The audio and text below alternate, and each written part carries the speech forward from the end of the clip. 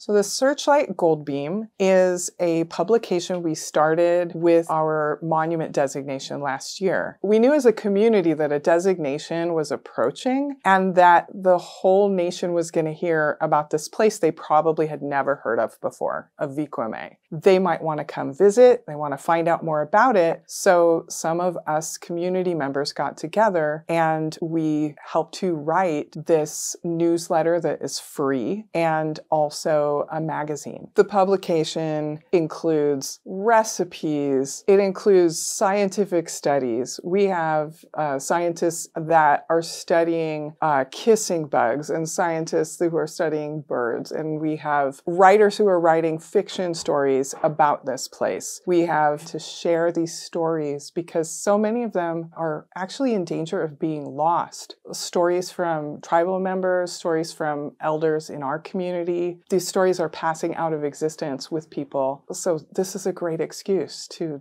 capture that history and the stories of this place.